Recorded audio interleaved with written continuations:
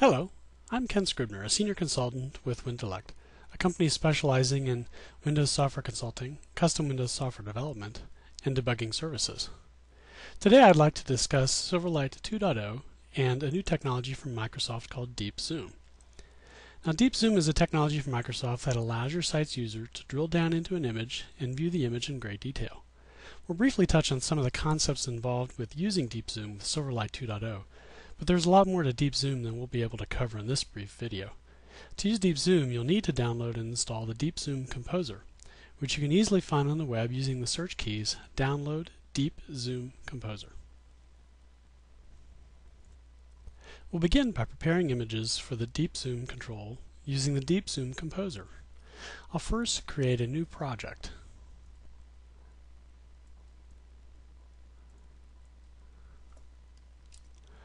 I'm going to call this project Freestyle.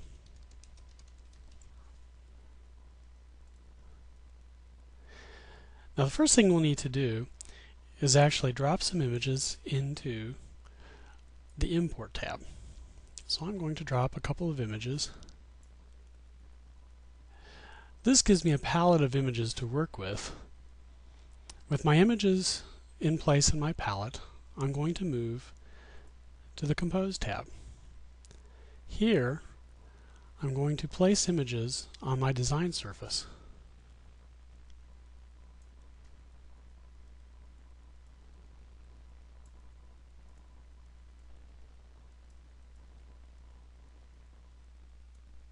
And I'm going to set my composition like so. The reason for this will be apparent when we actually run this in Silverlight. The final thing I'll need to do is actually export this and to a format that we can use with Silverlight. So I'm going to give it the name freestyle and really this isn't so much the name of a file it is as it is the name of a folder that the composer will create for us. We'll need to keep track of this folder because we're going to need it when we actually import this into Visual Studio. I'll press the export key and then the export is completed. Now let's look at how we actually use the information created for us by the Deep Zoom Composer. I've created a brand new Silverlight 2.0 application in Visual Studio 2008 called Deep Freestyle. The first thing I'm going to do is to place an instance of the multi-scale image control into my XAML and to that I'm going to apply a name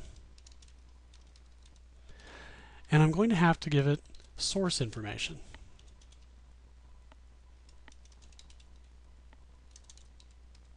This source information is what was generated for us by the, the Deep Zoom Composer. Before I can actually add this into my project though, I'm going to need to save everything and compile because I'm going to want to drop it into the client bin folder.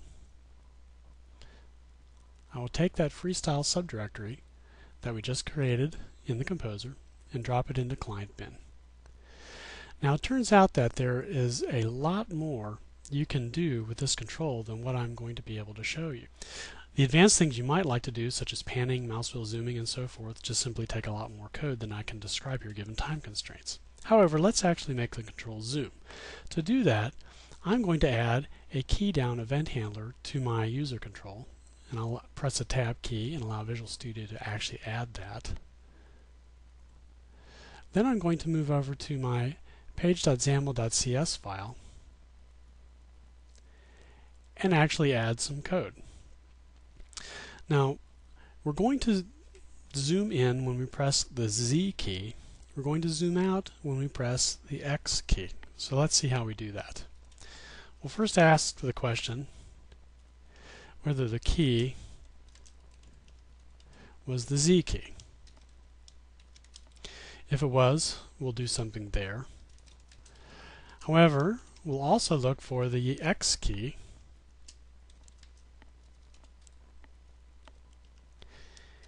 and we'll do something there.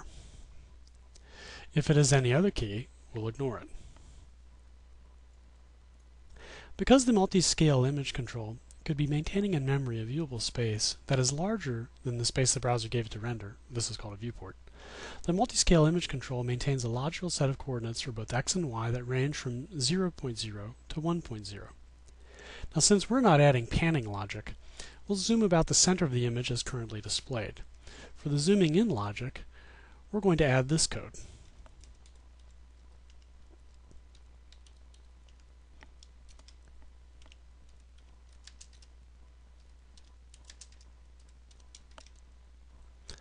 And since we've handled this keystroke, we'll mark that as handled. Now the zoom about logical point takes three pieces of information. The first is the zoom factor, and a zoom factor greater than 1 will zoom in. A zoom factor less than 1 will zoom out. This is the logical x-coordinate and the logical y-coordinate about which we're going to zoom. Now since the zoom out logic is very similar to the zoom in logic, I'm just simply going to copy that and change my zoom factor. I'll save everything, recompile, did compile. So now I'm going to go to our test page and actually view it in the browser.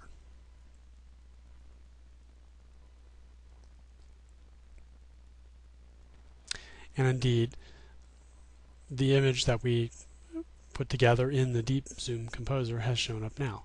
I'm going to click this with the mouse so that we set the input focus so that we'll actually accept the keystrokes. I'll do that now. And now I'm going to push the Z key. Notice that we zoom in.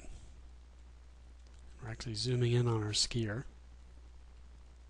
Look at how far we can zoom in. It's amazing. Now I'm going to push the X key to zoom back out. And look at it by how far we can zoom out. A number of interesting applications come to mind with technology such as this. I'll let your imagination roam. And that concludes my demo.